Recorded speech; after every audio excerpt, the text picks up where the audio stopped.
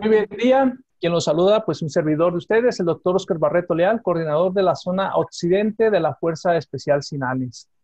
Pues eh, les agradecemos que en este 2021 se acerquen a, nosotros para tener esta, eh, estén dispuestos pues para esta nueva reto que tenemos en este año. Y pues a nombre de la Secretaría de Salud del Estado de Jalisco, OPD, Servicios de Salud Jalisco, y en colaboración con el área de antivenenos de Laboratorios Silanes y Retots, agradecemos su asistencia y pues me toca a mí ceder los micrófonos a la licenciada en Salud Pública Alejandra Cornejo Magdaleno, que es la coordinadora estatal del programa de prevención y control de intoxicación por picadura de alacrán y otros animales de ponzoña en este estado. Adelante, licenciada Alejandra. Muchísimas gracias, doctor Barreto. Buenos días a todos. Tengan, espero que estén pasando eh, un, excelente día. Este, el día de hoy eh, me honra en presentarles eh, en este evento vaya llamado Seminario Virtual Manejo del Paciente Intoxicado por Animal de Ponzoña en su edición 2021. Y el día de hoy tenemos la, presentación vaya de, una de las expertas retos que nos acompaña el, con el tema Manejo del Paciente Intoxicado por Mordedura de Araña Loxoceles a nombre de la doctora Nancy Cristal Rodríguez Cuballo. Eh, para presentar más a fondo a, nuestra querida ponente, deseo mencionar que la doctora Rodríguez Uvalle es egresada de la Escuela Médico Naval, es médico adscrito a urgencias en el Centro Médico Naval y cuenta con una especialidad de medicina de urgencia y alta especialidad de toxicología clínica. Eh, le damos la más cordial bienvenida, doctora Cristal, y eh, iniciamos con su presentación. Muchísimas gracias. Hola, hola, muchas gracias Alejandra. Pues bueno, este, iniciaremos con el tema que compete el día de hoy, que va a ser el. Primero que nada, siempre debemos de saber que el doctor Miguel Ángel Montoya Cabrera nos decía, el fracaso en el diagnóstico de las intoxicaciones se debe específicamente a que no se piensan en ellas. Es decir, siempre debemos de tener el amplio conocimiento acerca de todas las patologías para poder sospechar y tener un alto índice de sospecha de los mismos. La maestra Patricia Escalante Galindo nos menciona que la omisión del soporte multisistémico va a ser la principal causa de un mal pronóstico. Eso quiere decir que siempre que yo tengo un paciente intoxicado, lo primero que debo de hacer es dar un buen soporte multisistémico, aplicando adecuadamente mi ABC y todas mis medidas de reanimación. Debido a que si yo no tengo un paciente, pues tampoco voy a tener una intoxicación que tratar. Ahora bien, es muy común que estas, eh, en estas actualidades, cada que nos pica o nos muerde una araña, nosotros siempre vamos a tener expectativas, expectativas como estas, que vamos a poder volar, etc. sin embargo, sabemos que la realidad es muy diferente y que incluso pudiéramos llegar a tener hasta lesiones mortales. Esta plática la vamos a basar en la guía de práctica clínica mexicana con mordeduras por arañas de ponzoña venenosas, así como algún otro tipo de bibliografía internacional. Primero que nada debemos de saber que el oxocilismo va a ser siempre un reto diagnóstico, debido a que para algunas personas un oxocilismo puede parecer esto, o tal vez puede parecer esto, más sin embargo, para otras, tal vez solo esta simple lesión pueda ser loxocelismo.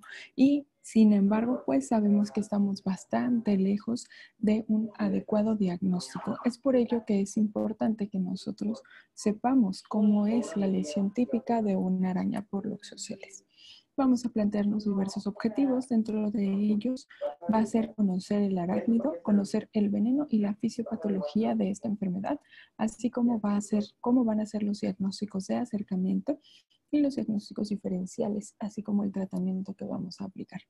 Pues bueno, hay que definir qué es oxocilismo. El oxocilismo van a ser todas las alteraciones fisiopatológicas, tanto locales como sistémicas, que van a estar causadas por la inoculación del veneno. Y esto va a ser secundario a la mordedura de la araña del género Loxosceles. Es así como vamos a llamar al oxocilismo como una necrosis cutánea aguda que va a estar inducida por una mordedura de araña. Pues bueno, entonces conozcamos al arácnido. El arácnido que viene del reino de los artrópodos y de la familia Cicaridae.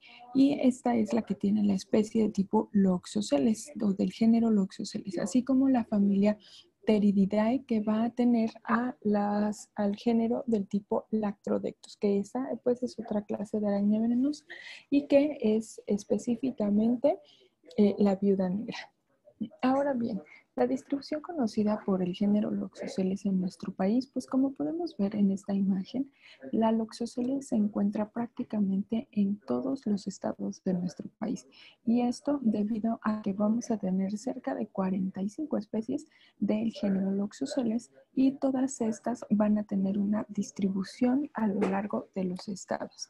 Sin embargo, las más frecuentes que nosotros presentamos en el país son la Loxoceles arizonica, Loxoceles deserta, Loxoceles laeta, Debian, rufescens y Loxoceles reclusa. Ahora, esta arañita también llamada o conocida como violinista, rinconera, parda, reclusa, café o marrón y debemos de saber que va a tener algunos tipos de hábitos. Uno de ellos es que pues realmente le gusta estar escondida porque en general es tímida. Entonces va a estar atrás de retratos, de pinturas, tal vez en una habitación de poco uso, en donde nosotros no tengamos casi contacto con ellas. O podemos encontrarla incluso en ropa, en ese closet olvidado o en ese closet al que nunca entramos, con toda aquella ropa que no utilizamos. O más, sin embargo, incluso en algunos zapatos eh, que van a ser también de poco uso o que ya son muy viejos.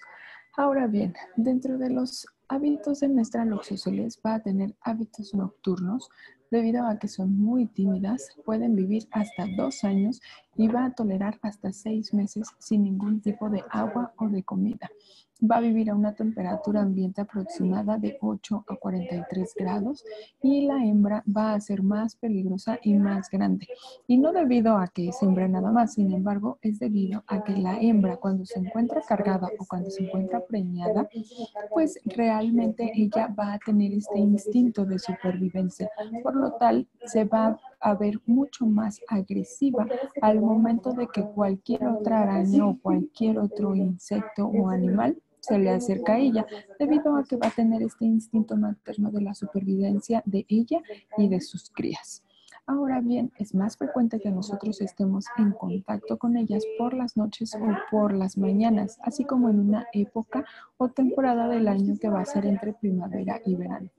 Por lo regular buscan lugares secos, cálidos y tranquilos. En el exterior de nuestra casa van a vivir bajo maderas, rocas, cortezas o incluso eh, en algunas cuevas. Y sin embargo, adentro de nuestra casa puede encontrarse detrás de pinturas, muebles, en ropa y calzado abandonado. Ahora bien, ¿cuál es la taxonomía de esta arañita? Pues es una araña realmente muy pequeña que va a medir entre 8 y 15 milímetros. Esta arañita, su cuerpo va a estar compuesto de un abdomen, como podemos ver. Va a estar compuesto de un abdomen y de un cefalotórax. Su cefalotórax va a contar con una cutícula en el centro, la cual va a ser de una coloración marrón oscuro. Esta cutícula comúnmente va a tener la forma de un violín invertido, de aquí a que realmente salga su nombre de violinista. Esta cutícula va a ser frecuente o va a ser persistente en todas las arañas de este género. Van a contar con cuatro patas y con eh, seis ojos, es decir, tres pares de ojos. También va a tener estos quelíceros, estos quelíceros que realmente son como sus colmillos delanteros con los que van a ser capaces de podernos inocular el veneno. A pesar de que estos quelíceros solo miden 0.45 milímetros, pues van a ser capaces de poder perforar lo que es nuestra dermis y de esta forma inocularnos el veneno. Algo que comenté justamente es acerca de sus ojos. Recordemos que en general las arañas van a tener cuatro pares de ojos. Eso significa que tienen en total ocho ojos. Sin embargo, este género específicamente solamente va a contar con tres pares de ojos, que en realidad son seis ojos. Estos van a encontrarse en una forma como de B o W. Es decir, va a tener un par al frente y un par a cada uno de los lados. Y esto va a ser algo característico característico al momento que se vaya a reconocer este arácnido. Ahora bien, les muestro aquí una imagen de una araña que como podemos ver, pues es parda, parda oscura, eh, grisácea y que la observamos con también un abdomen, un cefalotórax. Este cefalotórax lo podemos observar y eh, parece que tiene una imagen de violín invertido, ¿de acuerdo? Si le hacemos un acercamiento, también vemos un violín invertido. Sin embargo, es importante saber que esta araña es una Cisociclus, que es de la familia Fulcidae, es decir, es una araña que no tiene ningún tipo de importancia médica. Por lo tanto, nosotros no debemos de preocuparnos por ella. Y con esto quiero dejarles que siempre el reconocimiento del arácnido se debe de hacer por un experto. Es decir, no porque yo vea arañas en mi casa, significa que todas van a ser loxoceles y que las arañas me quieren venir a matar. Siempre hay que hacer el reconocimiento del arácnido para que de esta forma podamos tener un diagnóstico mucho más certero. Ahora, esta otra imagen en donde les puedo mostrar otra araña que también tiene un color este, como como marrón claro. Esta, sin embargo, no tiene cutícula, pero pues es aproximadamente el tamaño y también le veo cara como de qué es. Y pues realmente no, esta es una cuculcania, la cual va a contar con ocho ojos y no tiene ninguna imagen en violeta, ¿de acuerdo? Sin embargo, pues sí vamos a tener otros insectos o artrópodos que han descrito, que se ha descrito en la literatura, que hacen dermonecrosis. Es decir, aparte de nuestra araña Loxoceles, vamos a tener eh, realmente otros tipos de araña como son la tabuenaria, la arquiope o también llamada araña tejedora, la araña saltadora o fidifus, la arañita esteatoda, la ampona o incluso la araña de saco. Estas arañas también están reportadas que nos ocasionan dermonecrosis, sin embargo, todas estas arañas no contamos con ellas en el país, se cuentan con ellas solamente en Sudamérica.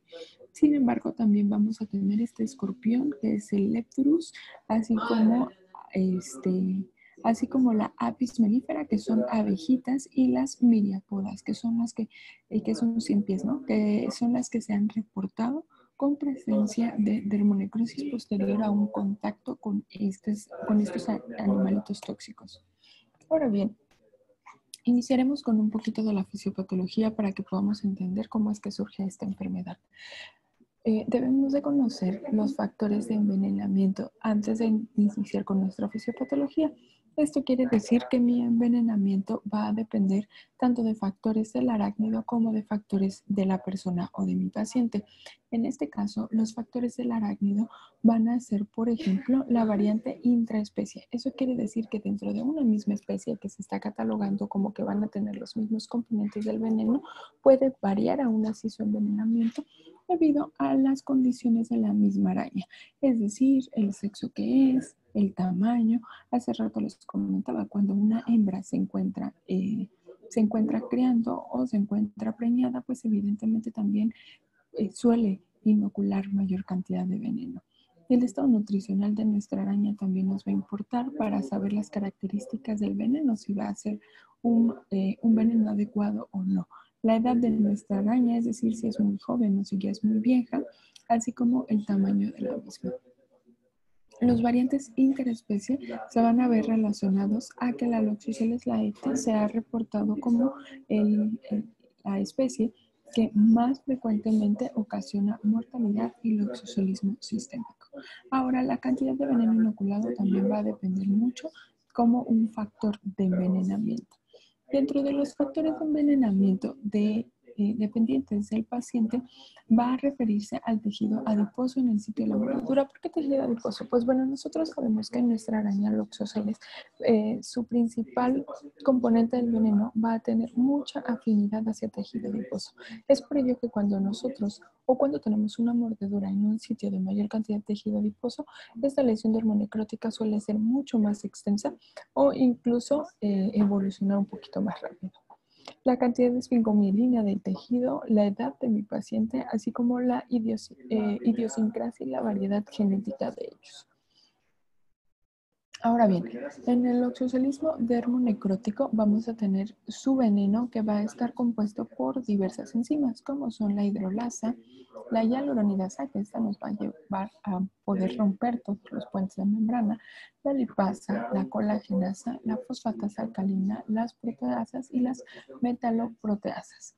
Ahora, el principal componente de mi veneno del oxoceles va a ser la esfingomielinasa D. La esfingomielinasa D, específicamente en un oxocelismo dermonecrótico, se va a encargar de la activación de las metaloproteinasas, eh, específicamente la metaloproteinasa 7 o matrilicina cuando estamos hablando del oxoceles laeta.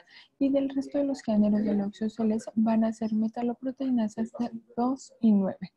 Estas metaloproteinasas nos van a llevar a una muerte de queratinocitos y una migración de neutrófilos, así como posteriormente se va a llevar a cabo una hidrólisis de esfingomielina, ocasionándonos eh, a la ceramida 1-fosfato y la hidrólisis de la lisofosfatidilcolina, lo cual va a deformarse hacia colina y ácido lisofosfatídico. Ahora, una vez que el veneno ya entró en nuestra membrana basal del tejido conectivo, va a ocasionarnos algunos tipos de alteraciones, como son principalmente aumento del espesor del endotelio, edema, vasodilatación, degeneración de la pared del vaso, hemorragias en la dermis, disociación dermis-epidermis, vacuolización de los queratinocitos en la capa basal y todo esto nos lleva entonces a una activación de las células endoteliales con diapéresis de neutrófilos, secreción de gránulos al interior del endotelio y eh, las y la activación, por lo tanto, de la metaloproteinasa 2, 7 y 9, que comentamos que iban a ser las principalmente afectadas. Ahora bien, la formación de úlceras crónicas y extensas nos van a llevar a una destrucción de tejidos que va a estar mediado por vías inflamatorias de necrosis regulado por el factor de necrosis tumoral y por la netosis. Ahora, los mecanismos de necrosis, específicamente en este caso, del oxocelismo, aparte de un envenenamiento, también pudiera estar ocasionado por una privación del suministro de oxígeno, por un proceso infeccioso o por una lesión mediada por la inflamación. Y esto va a depender entonces de cuál sea la causa de mi necrosis cutánea aguda. Es importante que recordemos que no toda lesión dermonecrótica va a ser el oxocelismo. Y con esto les quiero dejar para que sepamos que el oxocelismo sistémico, a pesar de que también va a tener una lesión dermonecrótica, también va a tener alteraciones sistémicas y con daño a órgano blanco específicamente. ¿Y cómo es que va a suceder esto? Pues bueno, nuestro veneno va a ser exactamente el mismo. También va a tener pero se hablan, hay algunas teorías que comentan que para poder producir un oxocelismo sistémico vamos a tener una mayor cantidad de esfingomielinasa D en los componentes del veneno. Entonces, esta esfingomielinasa D, en, eh, aparte de actuar a nivel dérmico, como ya observamos, también puede actuar a nivel sistémico. ¿Y cómo va a ser esto? Pues nos va a llevar a cabo la lisis de la membrana externa fosfolipídica de los eritrocitos y de esta forma va a generar la exposición de la fosfatidilcerina, produciendo entonces una unión con el complemento y llevándonos hacia la hemólisis. El daño a la membrana plaquetaria con exposición de la fosfatidilcerina va a activar entonces las plaquetas y va a generar una activación de la coagulación, llevándonos entonces hacia una CID. En cada vez que una arañita nos muerde, puede llegar a inocularnos hasta 0.1 a 0.4 microgramos por litro de veneno en cada una de estas mordeduras. Pero bueno, ahora sí, entonces el oxocelismo sistémico va a formarse debido a que entra la esfingomielinasa D a nuestro sistema. Esta entonces va a tener una unión a membranas del, del eritrocito con una secundaria activación de las metaloproteinasas eritrocitarias. Y es así como nos va a llevar hacia un clivaje de las glucoforinas inhibitorias del complemento y a una activación de las vías alternas del complemento, desencadenando esto la presencia de hemólisis mediada por el complemento. Ahora, actuando sobre otro lado, la esfingomilinasa D también va a aumentar la expresión de selectinas por lo tanto nos va a dar un aumento en la formación de trombos y con liberación de citoquinas. Y de esta forma nos va a llevar hacia una coagulación intravascular diseminada con la presencia de lesión renal y aunado a hemólisis. Es a esto a lo que llamamos nosotros como la triada eh, fisiopatológica del oxocilismo sistémico, que va a estar dado por hemólisis, coagulación intravascular diseminada y lesión renal.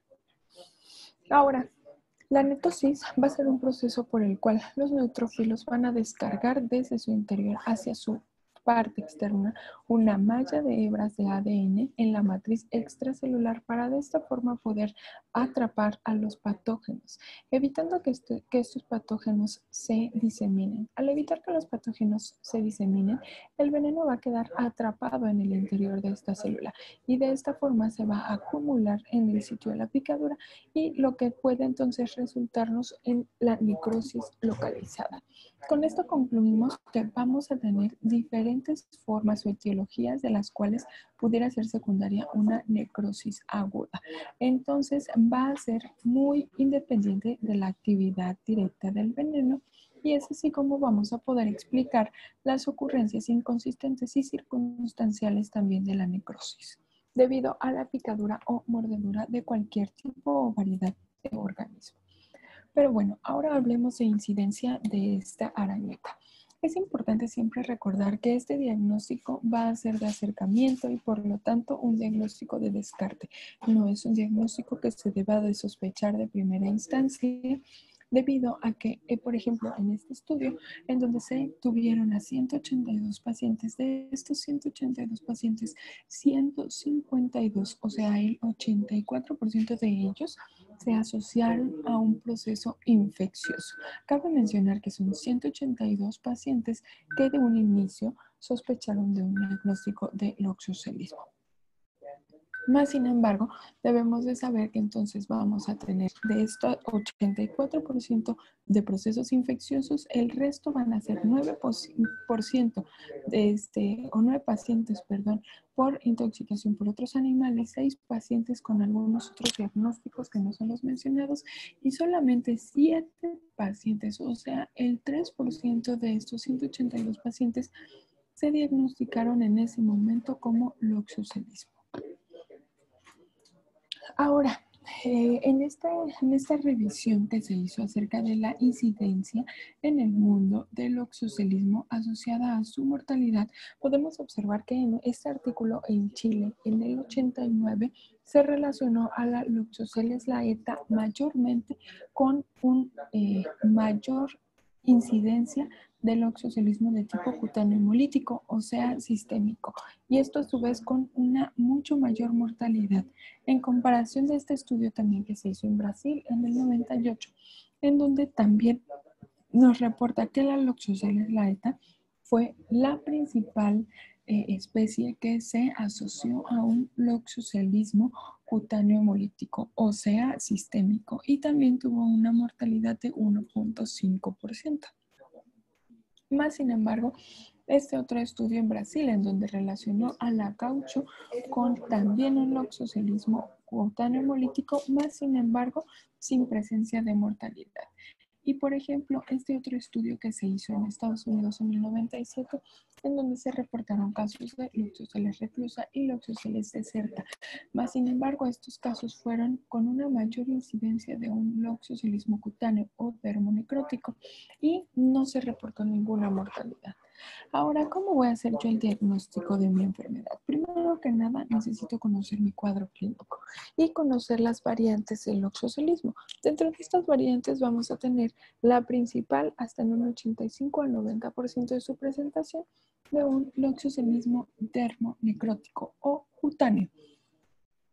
Este loxocelismo dermonecrótico va a estar caracterizado porque de 2 a 8 horas posteriores de la mordedura va a aparecer esto, esta imagen en bandera que nosotros llamamos placa libedoide, que va a ser una imagen central y violácea con alrededor una zona de isquemia y una zona posterior eritematosa. Es así como podemos ver que a 1 a 3 días posteriores se va a formar una vesícula hemorrágica. Del tercer a cuarto día, la presencia de necrosis central entre el quinto y séptimo día vamos a ver la formación de escaras y del séptimo al catorceavo día vamos a tener la presencia de induración. Ahora, con más de 28 días, esta úlcera se supone que ya llegó a su tamaño final y que ya podemos obtener un cierre por segunda intención. Pero bueno, ¿qué es esto que yo les comento? Esta eh, imagen en bandera que es casi, casi patognomónico de un loxocelismo de tipo dermonecrótico y de tipo sistémico, es importante que eh, podamos ver que eh, va a ser esta placa libidoide o imagen de bandera, va a tener una única lesión central con eh, de zona color azulado o violáceo, en donde posteriormente se va a formar una fritena hemorrágica, alrededor un halo blanquecino que corresponde a una zona de isquemia, ¿no? Entonces, la zona, la zona este, central la zona central va a ser azulada debido a hipoxia y alrededor isquemia. Esta zona eritematosa va a corresponder a una eh, mayor congregación de sangre en ese momento. Entonces, va a ser una eh, lesión que no va a ser exudativa y que no va a tener la presencia de edema significativo. Ahora, la evolución de la lesión vamos a tenerla en cinco fases principales. La primera, que va a ser la aparición de la, aparición de la placa libedoide o de imagen en bandera, se presenta entre 8 a 72 horas. Esta primera imagen o placa libedoide que inicia hacia las 6 a 8 horas y que puede persistir hasta las 24 horas. ¿Por qué puede persistir hasta 24 horas? Pues va a seguir con su misma evolución y posterior a esto vamos a perder esta interfase que observamos entre zona de hipoxia y isquemia. Ahora bien, la segunda fase se va a encontrar o vamos a encontrar una celulitis con la presencia de fritena hemorrágica. Esta fritena hemorrágica que se forma entre 24 y 78 horas, vamos a observar que vamos a, va a ser una única fritena hemorrágica central con un halo isquémico y posteriormente con una zona eritematosa alrededor justamente igual que esta otra forma, que es una única flitena hemorrágica. ¿Por qué va a ser una única flitena? ¿Por qué no van a ser múltiples? Pues bueno, esto se debe a que como nuestra araña es muy tímida, pues realmente ella solo al sentirse atacada va a mordernos y posterior va a huir. Eso quiere decir que no se va a quedar a hacernos otra mordedura, a seguir atacándonos. Ella solamente llega, nos muerde y inocula su veneno evidentemente y después se va. Y vamos a tener en nuestra tercera fase una celulitis con involución de la flictena hemorrágica entre el tercero y el séptimo día. Y con esto les quiero comentar que después de que esta flictena involuciona, va a ser la zona en donde se va a presentar nuestra úlcera o donde se va a ulcerar la lesión. Eso quiere decir, estas úlceras van a ser siempre hacia profundidad. Eso quiere decir que vamos a encontrar una imagen excavada que se va a dar exactamente en nuestra escara necrótica que vamos a presentar en su cuarta fase entre el quinto y el octavo día. Esta escara necrótica va a estar excavada, es decir, nunca va a estar sobre el nivel de la piel, siempre va a ser a profundidad. Por lo tanto, este, esta úlcera nos va a terminar de formar hasta después del séptimo día y en menos de tres meses. Bueno, como podemos ver, la evolución que va a tener esta lesión no es una evolución rápidamente progresiva, como muchas veces se comenta. Es una evolución que va a ser bastante lenta, es decir, nosotros vamos a tener la presencia de necrosis hasta el tercero a quinto día más o menos. Y no vamos a tener una úlcera formada hasta después del séptimo día. Y nuestra úlcera formada después del séptimo día es va a ser la imagen o la lesión final ¿de acuerdo? Entonces nuestra evolución de la lesión siempre va a ser lenta y la clave para poder llegar a un adecuado diagnóstico va a estar en el monitoreo de la lesión y en el reconocimiento temprano de daño a órgano crítico. Ahora bien, algo importante dentro del oxocilismo termonecrótico es que mi lesión, o sea, que siempre debe estar sospechada porque mi lesión va a ser una lesión única que va a evolucionar hacia una dermonecrosis, sin embargo de manera lenta, que no se va a ulcerar en menos de siete días y que la úlcera va a progresar siempre en sentido gravitatorio, es decir, hacia profundidad. Y esta úlcera va a ser seca y de un tamaño promedio de no más de 10 centímetros. Dentro del de eritema que vamos a tener en toda esta zona, eh, tenemos un punto importante en donde la toxina, o sea, la esfingomilinasa D o el veneno de nuestra araña reclusa, pues va a llevar a cabo una constricción de las arterias y una dilatación de los capilares. Y de esta forma vamos a tener como resultado un eritema frío. ¿Por qué me importa que sea un eritema frío y no sea un eritema caliente?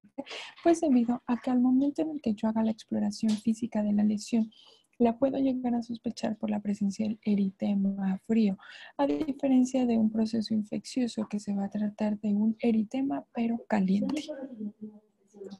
Ahora bien, vamos a hablar un poquito de casos clínicos y de algunas variantes clínicas para poder identificar adecuadamente un loxocelismo.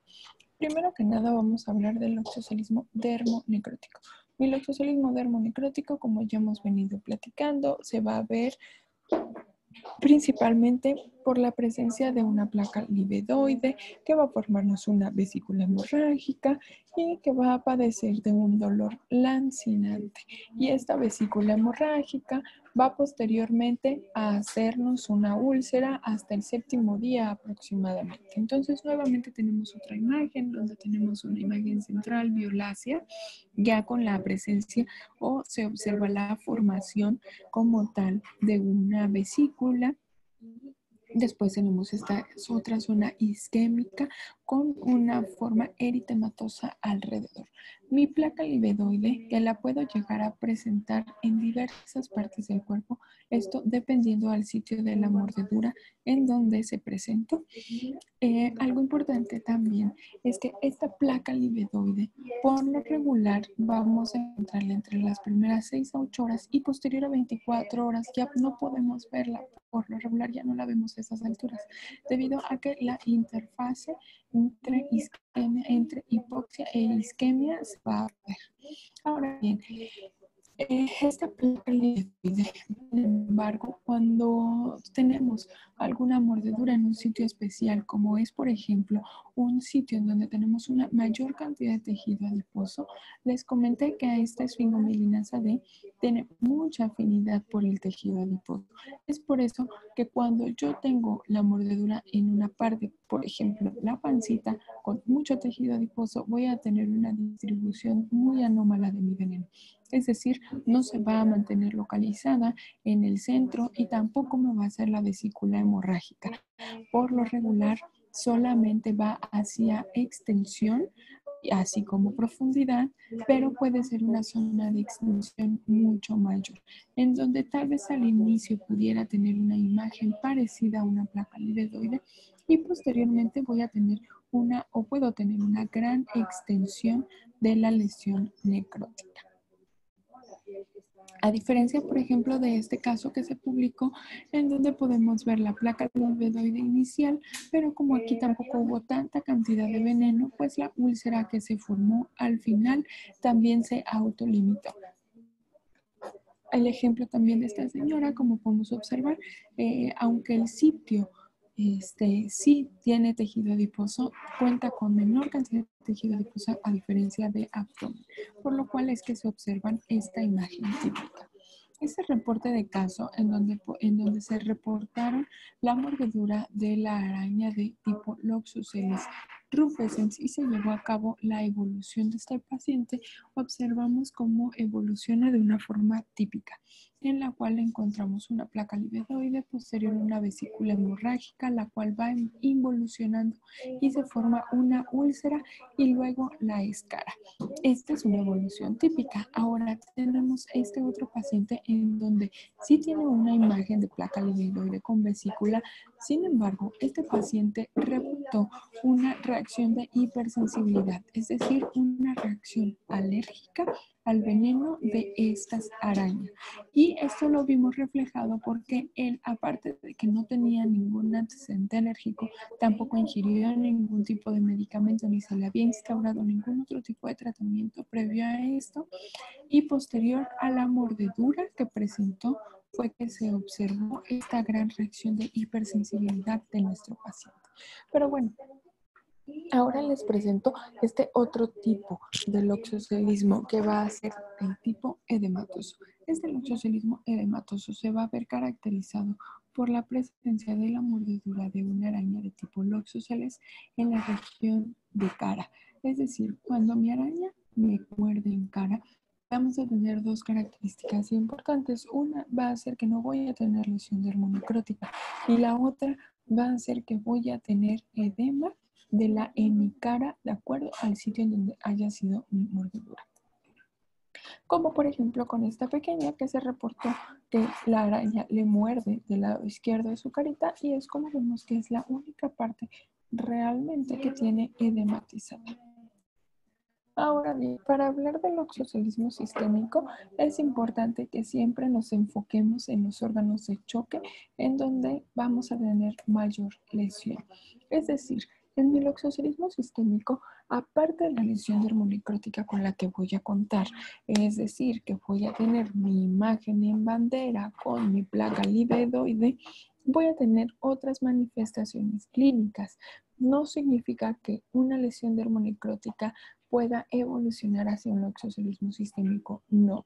Aquí lo importante es que de acuerdo a los factores dependientes tanto del arácnido como de mi paciente, desde el momento en el que se inocula el veneno, se va a iniciar el proceso para un loxocelismo solo dermonecrótico o un loxocelismo sistémico. Este loxocelismo dermonecrótico, perdón, este loxocelismo sistémico va a estar caracterizado por la placa libedoide más manifestaciones clínicas como son anemia hemolítica, coagulopatía coseide y lesión renal aguda. Otras complicaciones secundarias que puede tener van a ser la lesión pulmonar aguda, presencia de CIRA, lesión hepática aguda, sepsis secundaria la infección sobreagregada, vasculitis, necrosis local y daño orgánico múltiple, la muerte. Algo muy importante también para recordar es que el tamaño de mi lesión dérmica no va a definir ni la aparición del oxocilismo sistémico ni la gravedad del oxocilismo sistémico que se presente. Otras características o manifestaciones del oxocilismo sistémico van a ser la presencia de fiebre, resfriado, debilidad, artralgias, náuseas, vómito, rash, petequias y dolor urente así como cuando presenta hemólisis, lo vamos a ver relacionado a una anemia hemolítica con aptoglobina baja, con un COMS directo positivo y un frotis con esquistocitos y equinocitos, un DHL alto, bilirrubinemias indirectas altas y hemoglobinuria. La CID o coagulación intravascular diseminada la vamos a ver característicamente asociada a plaquetopenia, elevación de TP y TPT y alteraciones en nuestro INR. La lesión renal aguda se va a ver reflejada por la elevación de la creatinina, un patrón intrínseco de la relación creatinina y la presencia de oliguria. Otros signos y síntomas inespecíficos que se van a presentar en nuestro paciente va a ser una leucocitosis leve con hipertransaminasemia o elevación de la CPK. Hay un caso reportado de envenenamiento por loxocilismo reclusa en donde se presentó una alta respuesta o una gran respuesta inmune, en donde hizo la paciente hemólisis con directo positivo, hemoglobinuria con supresión de médula y mala respuesta a reticulocitos con trombocitopenia y coagulopatía, vasculitis asociadas a ANCA y una linfohistiocytosis hemofagocítica. Entonces, ahora sí, entrando ya bien al diagnóstico, recordemos otra vez, nuestro diagnóstico va a ser de acercamiento. Al que yo les digo que es de acercamiento, significa que no voy a tener, por lo menos no en México, ningún tipo de estudio que me va a decir que sí, que mi mordedura es secundaria a un loxocelismo. Sí se cuenta con un estudio, que es este estudio de tipo ELISA de esfingomielinasa D. Más sin embargo, este estudio de ELISA de esfingomielinasa D, costo-beneficio suele ser muy caro y con poco beneficio. Por lo tanto, en el país por lo menos no se ha instaurado la misma. Esta ELISA nos va a marcar los niveles de la esfingomielinasa que se presentan en la región de la herida, ¿de acuerdo? Sin embargo, como no contamos con ella, nuestro diagnóstico debe de ser clínico y de acercamiento.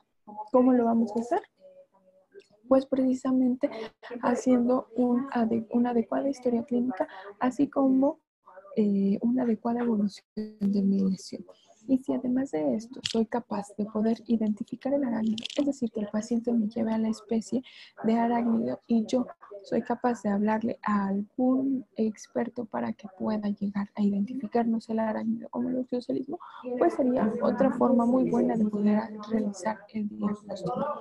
Ahora, dentro de mis estudios de imagen y laboratorio, pues realmente para poder documentar la presencia de hemólisis e y lesión renal en un paciente con loxocelismo sistémico, eso sería lo ideal.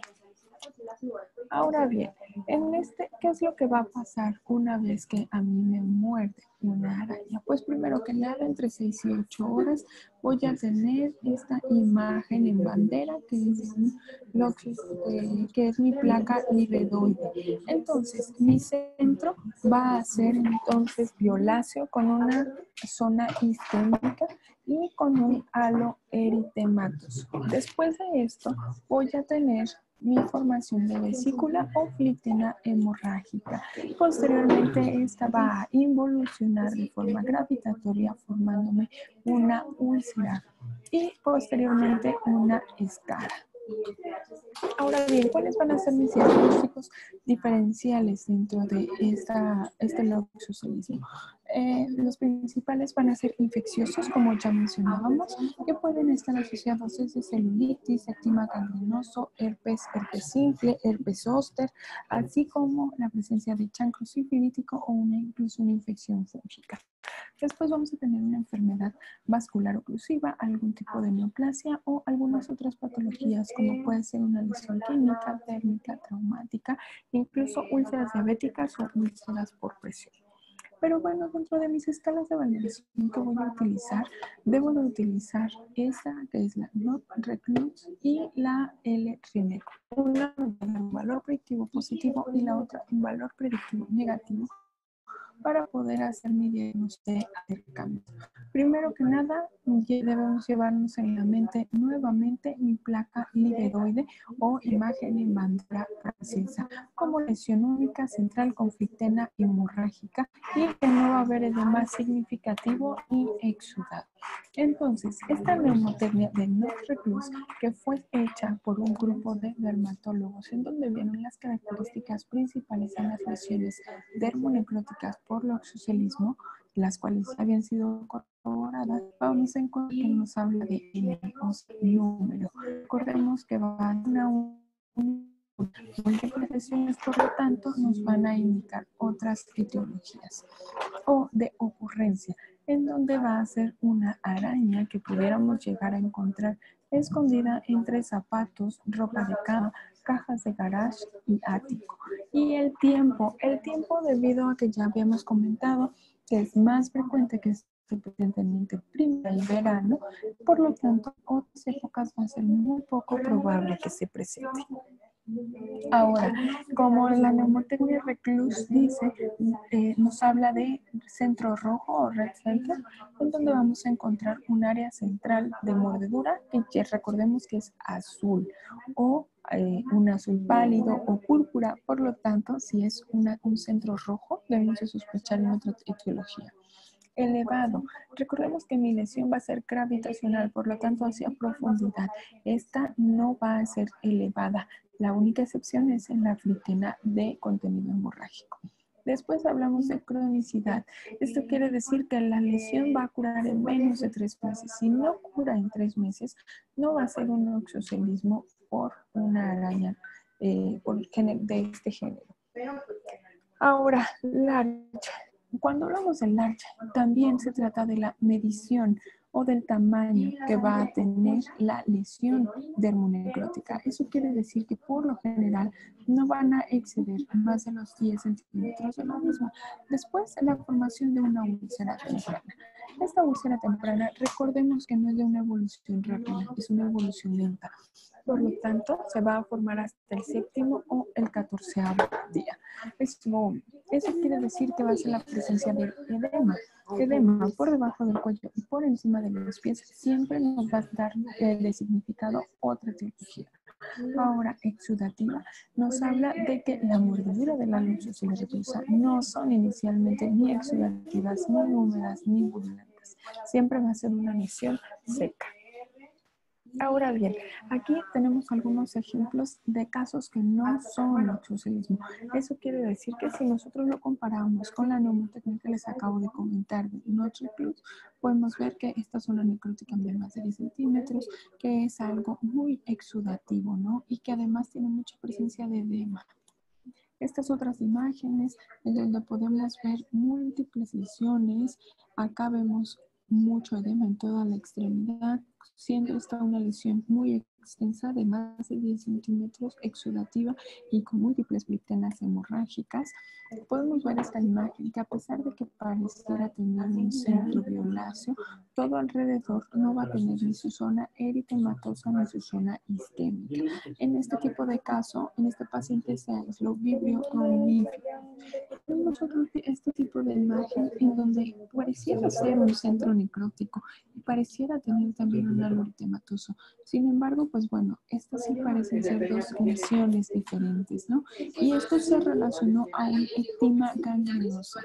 Ahora bien, esta otra imagen en donde vemos, además del edema, múltiples lesiones con vesículas hemorrágicas y mucho exudado. Esta otra imagen aquí arriba, en donde también vemos una lesión de necrótica extensa con abundante exudado y el cual también se observa purulento. Ahora este otro paciente con múltiples vesículas hemorrágicas a todo lo largo de la extremidad con la presencia de mucho edema. Ahora viene este otro paciente en donde tuvo una evolución insidiosa con un aumento de volumen, una imagen no característica realmente y posteriormente vemos cómo evoluciona hacia una zona purulenta, ¿no?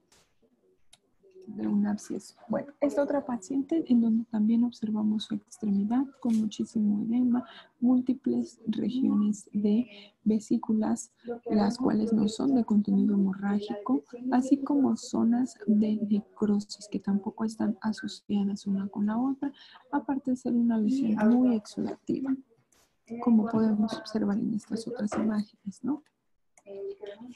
Muy bien, esta paciente con una lesión dermonecrótica muy extensa, en donde podemos ver que eh, mide mucho más de 10 centímetros y no es una única lesión, son múltiples lesiones a lo largo de la extremidad.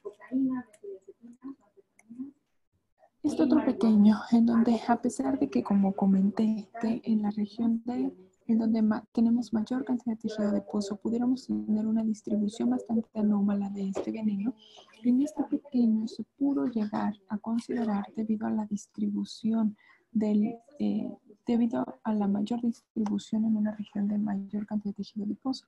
Más sin embargo, durante la vigilancia y evolución de este paciente, pues evolucionó hacia una lesión exudativa y muy purulenta, descartando ya de esta forma la presencia de celeste. Por este otro paciente incluso tiene la presencia de un bar para extraer todo el exudado de la extremidad, pues bueno, prácticamente nos está excluyendo nuestro diagnóstico. Ahora bien, este otro paciente en donde podemos observar sigue una lesión dermodecrótica, más sin embargo por el tiempo de evolución de este paciente se salía de nuestra cronicidad del mismo otro paciente, en donde pues evidentemente son múltiples lesiones a lo largo de todo el, eh, tórax y abdomen, así como la región dorsal y en extremidades, ¿no? Esto nos habla pues de otra patología que es completamente infecciosa y que fue rápidamente progresiva a diferencia de nuestro luxocelismo. Y pues bueno, con esto lo quiero dejar para que podamos tener o podamos aplicar nuestro LRNEC score. De esto nos habla que vamos a tener diversos parámetros de laboratorio, en donde vamos a tener proteínas C reactivas, así como leucos, eh, leucocitos, eritrocitos, hemoglobina, creatinina y niveles de fibrina. Estos parámetros Vamos a tener otros parámetros clínicos como son dolor, fiebre, taquicardia y signos. Y por cada uno de estos, eh, de estos ítems vamos a tener puntajes diferentes. Entonces lo que yo voy a hacer es una sumatoria de todos los puntajes o del puntaje que me dio en mi paciente para de esta forma poder validar si tengo un el de más de 6 puntos puede tener un 59.2% de, una, eh, de poder de que mi diagnóstico sea una fascitis necrotizante. Y si yo tengo un LRNEC de menos de 6 puntos, tengo un 83% de que solo sea una celulitis muy severa. Entonces voy a tener como un valor predictivo negativo a esta escala que es la LRNEC. De acuerdo.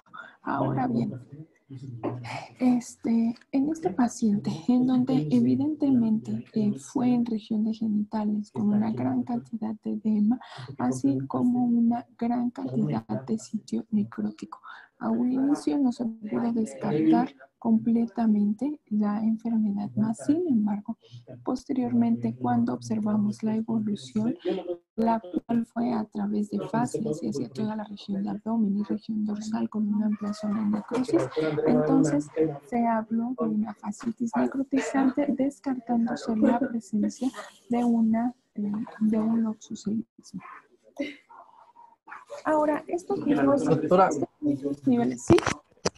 Eh, se escucha un poquito de, ruido de eco ahí. Eh, no se puede acercar un poquito el, micrófono, creo que nos ayudaría un poquito en eso. Sí, gracias. de acuerdo. Entonces lo mantengo más cerca. Bueno, me regreso tan muy bien. Entonces, este, aquí eh, dentro de los factores de riesgo o indicadores de riesgo de laboratorio para una fascitis necrotizante, vamos a tener aparte de hemoglobina, células blancas, sodio, creatinina, así como glucosa y proteína C reactiva. Todo esto también buscando un, un sumatorio de nuestros diferentes puntos para poder tener un riesgo bajo, un riesgo medio, un riesgo alto y un riesgo muy alto para la producción de eh, una fascitis necrotizante. Entonces es de esta forma que si yo tengo más de seis puntos, voy a tener una, eh, va a ser muy sugestivo de una fascitis necrotizante. Y si yo tengo eh, más de ocho puntos, hablo de que tengo un alto riesgo de una producción de fascitis necrotizante. Y pues bueno, ahora que yo ya hice mi diagnóstico de acercamiento clínico y que también ya saqué mis predictores con un factor predictivo negativo y un factor predictivo positivo con mi LRNEC y mi, eh, mi entonces ya que estoy segura de mi diagnóstico, ya puedo iniciar un tratamiento. ¿Cómo voy a iniciar yo un tratamiento? El tratamiento se va a iniciar debido a que va a bloquear mi antiveneno, bueno, lo ideal es que tengamos el antiveneno que va a bloquear todas mis vías para la formación de lesiones, que va desde los aumentos de las selectinas, la liberación de citoquinas, la agregación plaquetaria, la activación del sistema de complemento, nefrotoxicidad y raptomiólisis. Ahora bien, al momento en el que nosotros utilizamos el antiveneno, se van a bloquear todas estas vías de producción de lesión. A diferencia de si yo no utilizara mi antiveneno, en donde tendría yo que bloquear con un medicamento diferente cada una de estas alteraciones. Ahora bien, mi antiveneno va a ser reclusmin. Esta van a ser fragmentos FAB2 de inmunoglobulina G hiperinmune antiloxoceles con una vida media eliminación de 138 horas, con un volumen de distribución de 0.2 litros por kilo y Esta va a tener específicamente dos sitios de unión a la esfingomielinasa D y cada vial utilizado va, a neutralizar aproximadamente 150 miligramos de necrotoxina de loxoceles que puede ser desde reclusa, laeta y bonetti. Ahora bien, ¿cómo va a ser mi tratamiento inicial? Mi tratamiento inicial debe de ser eh, entre eh, entre hielo o aplicación de compresas frías. Esto realmente no tiene un nivel de evidencia, más sin embargo sí se ha visto mejoría del dolor después de la aplicación del mismo. La presencia de asepsia de las lesiones, así como no debo de cubrir las lesiones ni aplicar ningún otro tipo de remedio casero para esta lesión. Debo aplicar analgesia, que va a ser de tipo opioide. Debo evitar completamente los esteroides, a menos que tengamos dos causas que al rato se las voy a decir, así como las, los antihistamínicos van a estar indicados solamente en un caso de reacción de hipersensibilidad, como fue el caso que vimos del paciente que hizo reacción de hipersensibilidad ante el veneno así como la presencia de antibióticos solo en evidencia de infección, porque recordemos que realmente va a ser un envenenamiento, no un proceso infeccioso. Por lo tanto, no vamos a requerir de un antibiótico. Ahora, los esteroides. ¿Por cuándo y dónde voy a dar los esteroides? Solamente en dos casos están indicados. Uno es en el oxiocelismo cutáneo visceral, o sea, sistémico, y el otro es durante el embarazo. Esto quiere, y esto va a estar dado debido a que va a disminuir la respuesta inflamatoria sistémica y lo voy a otorgar a una dosis de 0.5 a 1 miligramo por kilogramo por día por 5 a 7 días solamente ha habido otros estudios que se han hecho eh, comparativos dentro de los tratamientos coadyuvantes para un exocelismo, como son, por ejemplo, los antiinflamatorios esteroideos, en donde sí evitaron la, formación de microtrombos en la zona de la lesión, más sin embargo no se ha documentado que realmente pueda funcionar en un exocelismo dermonecrótico en humanos. Sin embargo, la dapsona, esta sí se encontró que va a disminuir el tamaño final de la dermonecrosis. Más sin embargo, sí tenemos un alto riesgo de que como efecto secundario pueda producirnos anemia hemolítica, metamoglobinemia y que de esta forma pueda confundirnos la clínica con un exocelismo sistémico. La dapsona. La dapsona nos va a ayudar a la, inhibición, a la inhibición de la migración de polimorfonucleares. De esta forma va a disminuir la producción de radicales libres de oxígeno, va a estabilizar la membrana lisosomal y entonces lo puedo yo llegar a aplicar en oxosolismo solamente dermonecrótico, o sea, cutáneo. Doctora, discúlpeme, de nuevo el micrófono no Otra vez. Gracias. Muy bien, entonces la dapsona solamente va a estar eh, indicada en un loxocelismo de tipo cutáneo o termonecrótico, debido a que va a tener muchos efectos adversos como son la agranulocitosis, la anemia plástica y la metemoglobinemia. Esta adapsona la vamos a dar a una dosis de un miligramo por kilo por día y de esta forma la vamos a dividir en dos dosis durante 10 días con un máximo de 100 miligramos. La cámara hiperbárica realmente no tiene indicación, más sin embargo se ha visto que mejora la vascularización de la zona afectada. Ahora, una escarotomía tardía o la limpieza de la herida solamente va a estar indicada después de una a dos semanas de la evolución de mi cuadro. Y esto va a estar debido a que recordemos que no vamos a tener la formación de la escara y de la úlcera hasta después del séptimo día. Por lo tanto, no vamos a tener un tamaño final aún.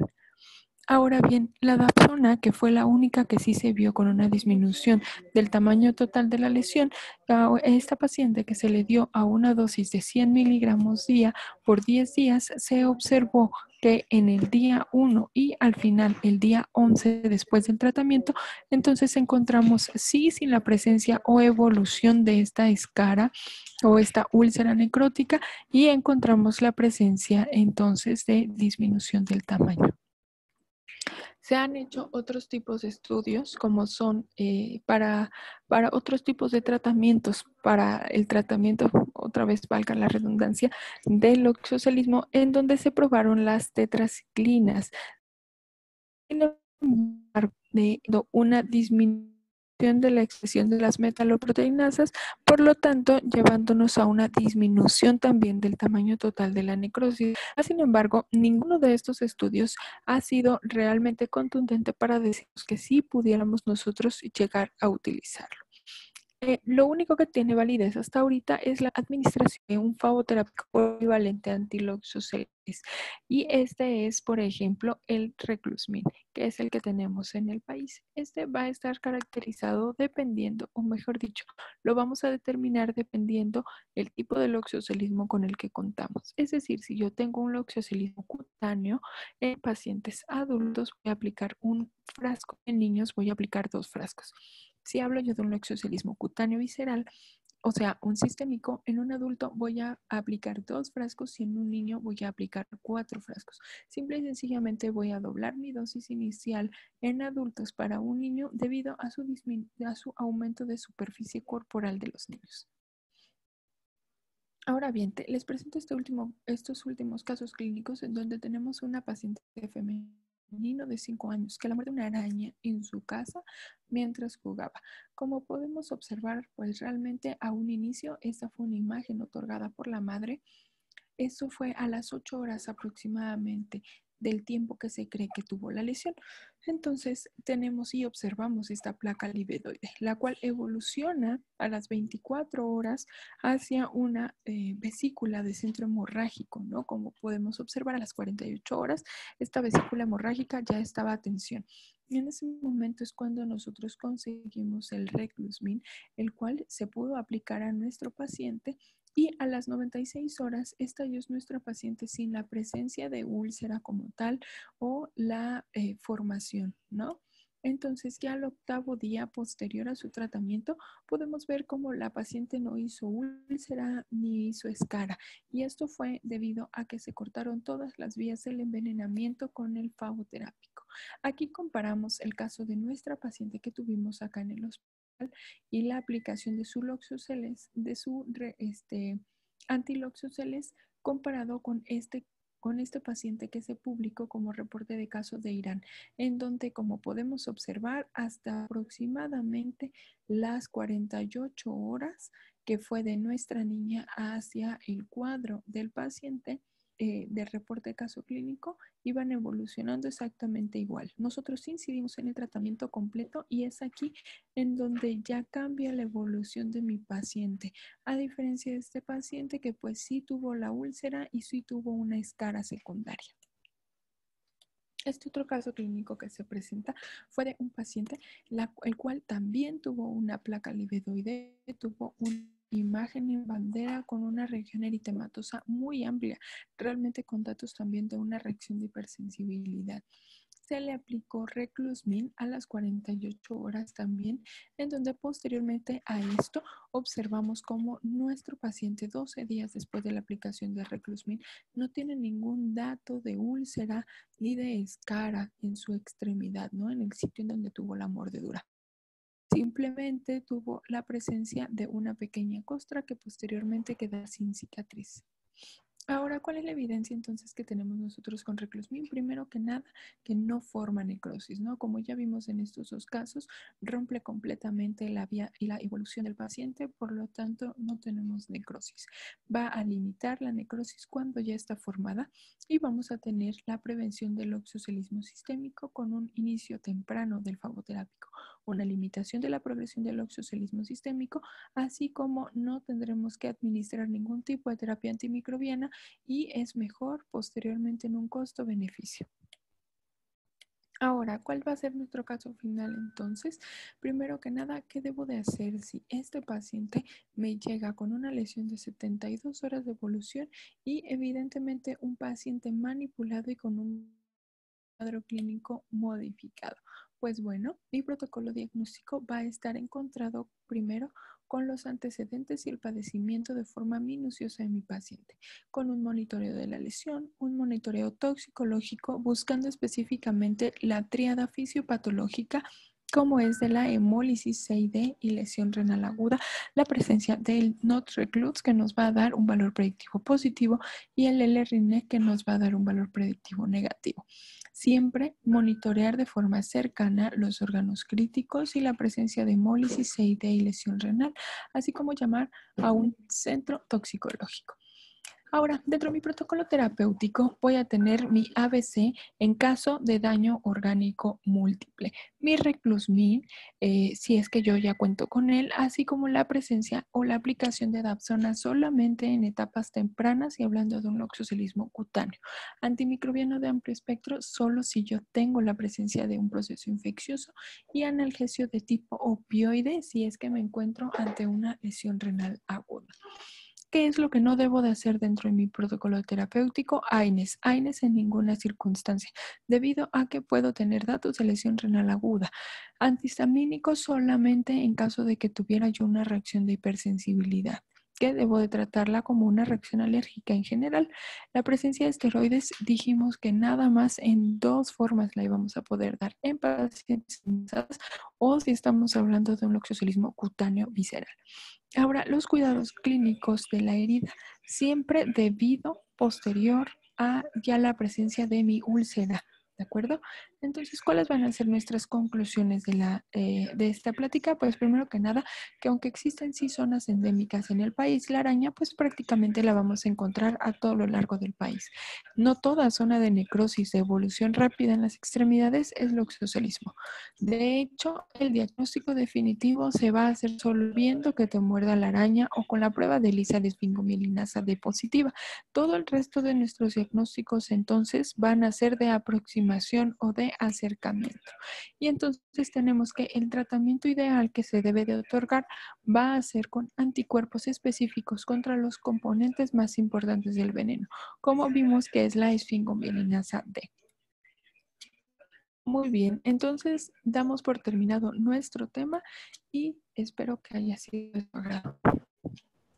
Muchísimas gracias, doctora Nancy. Eh, deseo eh, mencionar algunas preguntas que nos hacen llegar para ver si nos puede apoyar con, con ellas. La primera dice, ¿qué herramientas laboratoriales recomienda solicitar que nos permitan identificar un posible loxosalismo en nuestro paciente? Ok, así como platicamos, las alteraciones que vamos a encontrar en el oxocelismo sistémico pueden ser hemólisis, lesión renal y una CID. Por lo tanto, pues se sugieren todos los estudios ampliados como son una biometría hemática, una química para ver la función renal, así como unos tiempos de coagulación. También pruebas de funcionamiento hepático nos van a ver para ver si tenemos algún otro tipo o este, otra alteración hepática y recordemos que siempre la vigilancia de mi daño a órgano blanco. Doctora, pues entonces, eh, eh, haciendo ya un paréntesis de acuerdo a, la sesión, eh, me gustaría cerrar la valla agradeciendo principalmente pues la, la, asistencia y la presencia de todos los que nos acompañan y también pues mencionar obviamente que a nombre del Laboratorio Silanes, Reto, Secretaría de Salud y UPD Servicios de Salud Jalisco, eh, agradecemos por aceptar nuestra invitación y por compartir su amplio conocimiento y experiencias en este importante tema. También hacemos extensivo este agradecimiento a todos ustedes por acompañarnos en esta sesión y los invitamos a seguir participando en la próxima sesión que se llevará a cabo el 22 de abril con el doctor Juan Ramón Pérez García eh, con el tema manejo del paciente intoxicado por mordedura de serpiente. Y por último, pero no menos importante, reconocemos y agradecemos a todos los profesionales de la salud que, cada, que día a día se enfrentan a la enfermedad COVID-19 durante esta pandemia. Muchísimas gracias. Gracias. Muchas gracias, doctora.